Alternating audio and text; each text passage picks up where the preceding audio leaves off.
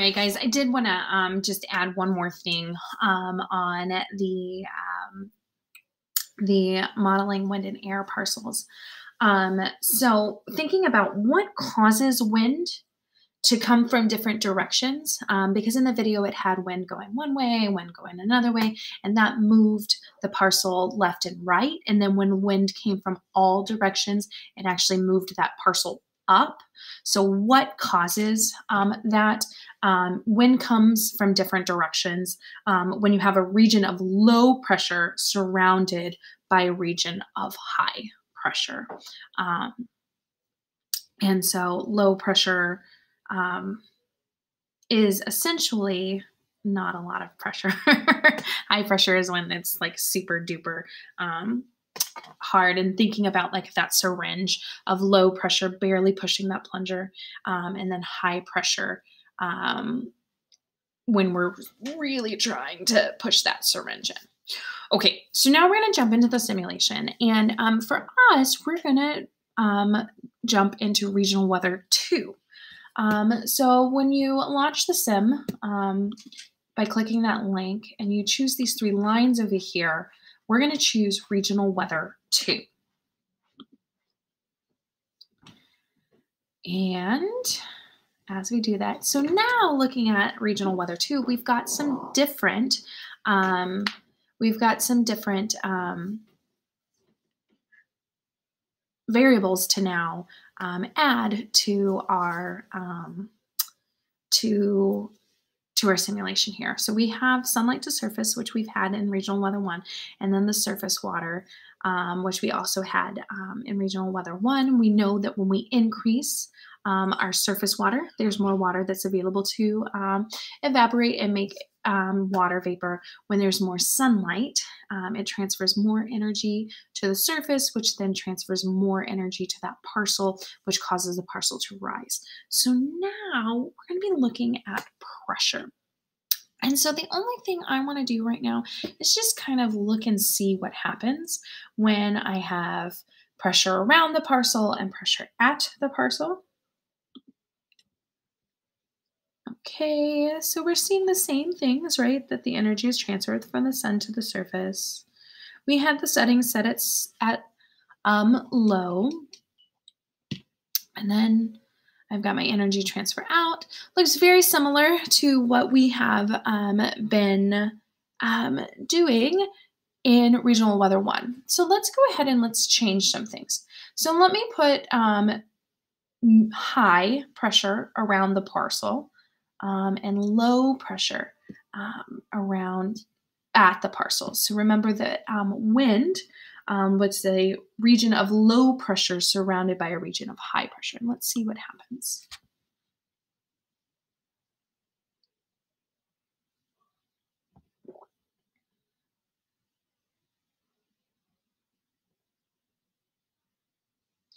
Ah, did you guys see that there was some arrows going up there? Okay, we didn't have those arrows that first time around. And then we've got some rain here. Okay, let's do high um, and high. Let's see what happens there. So actually, and if we look here, okay, um, we see that wind is coming from both sides. Wait a minute, we saw that in the video. Okay, it looks like when I change these, Okay, there's a lot, a lot of wind. There's a medium amount of wind. There's no wind. So what happens? We've got a lot. So we're still getting that energy transfer.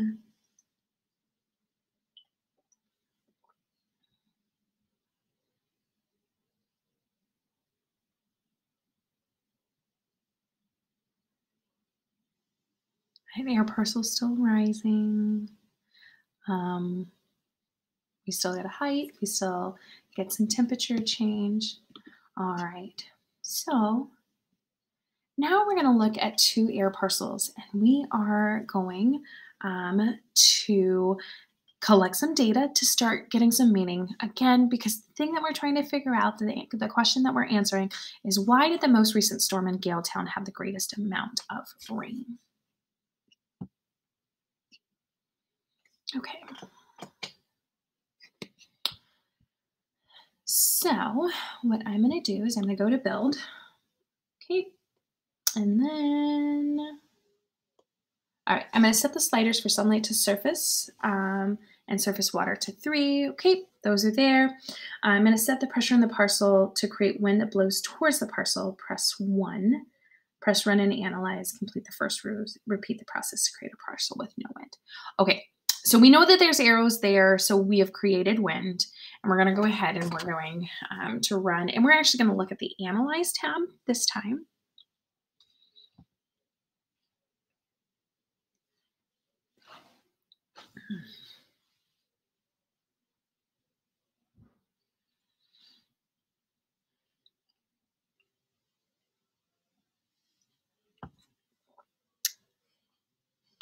Okay. All right. So, um, when I look at this, I've got some data here that this it began rising at 30 degrees. The final temperature of the air parcel was negative 40, right? Because it transferred out its energy to the surrounding air. Um, it had a difference of 70. Um, the energy transferred out was 146 millijoules, and our rainfall level was 2. So coming back over here, oops, and my final parcel height was 8.5 kilometers. 5, it was negative 40, energy released, I don't remember, 146. And then the centimeters of rain, that's something new. We haven't looked at centimeters of rain, but it's just right down here. The liquid rain that fell was six centimeters. All right, so now we're going to do no rain. I'm sorry, no wind. So we're going to keep the things the same, right? And so we know that there's no wind when they're both at, at low.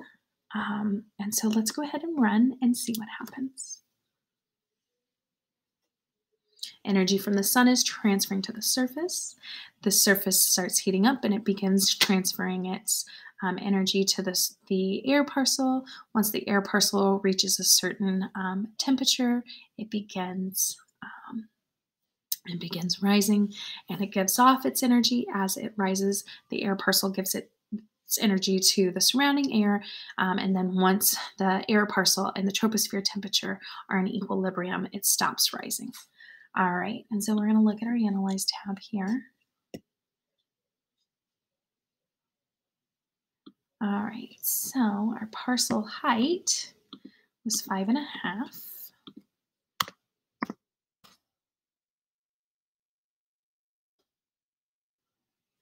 Let's see. Um, our final was negative 30. The energy released was 108. And the amount of rain was 10 centimeters. So, using the data table, describe how wind can affect the cooling of an air parcel. So, I'm thinking about what was the height of those parcels?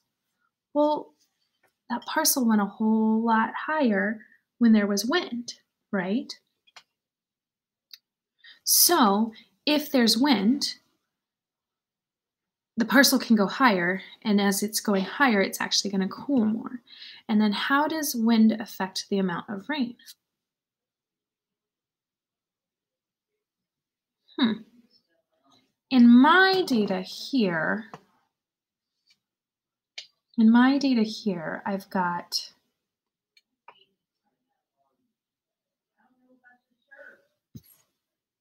I've got wrong data, guys. Okay, guys. You know what? Things happen, right? We make mistakes. We knew that wind should have given us um, more rain um, than no wind. And so, what I did is I went back and I started my test again. Okay, sunlight to surface um, were three, pressure at the parcel was one, pressure around the parcel was three. Okay, we still had, um, um, sorry, let's just go ahead and press play. Um, so that energy was transferring um, from the sun to the surface, from the surface to the parcel. Okay, once it hit 30 degrees, that parcel began to rise. Um, and then the wind also helped push the parcel up. And then the rain became um, began to fall. So what I forgot to do um, when I was running the simulation is I had to wait until the rain stopped um, because if you press analyze before the rain has stopped, it will only measure the amount of rain up until the point that you pressed analyze, not until the rain is completely done. Um, so what it actually got was 15 centimeters. So coming back over here, and hey guys, mistakes are cool, right? We, we, we learn from our mistakes. Teachers make mistakes, okay? Um, so coming back to our question here, how does wind affect the amount of rain? When there's more wind, there's more rain, okay? Um, I want to come back over here and I want to see if I maybe, just maybe, yeah. Okay, because I've been talking about um, these storms and, you know, I didn't quite think that uh, we had some full information here. Okay, so what we're trying to figure out is what or why did the most recent storm in Galetown have the greatest amount of rain? Okay, and so storm one was before the lake, right? So it was not going to have a lot of, um, it was not going to have a lot of rain because there wasn't a lot of surface water available. Um, and then storms two and three, we found out that um, when you had an increase in temperature when it was very warm outside, then you were going to have a bigger storm. So that's how we knew that storm three was bigger than storm two.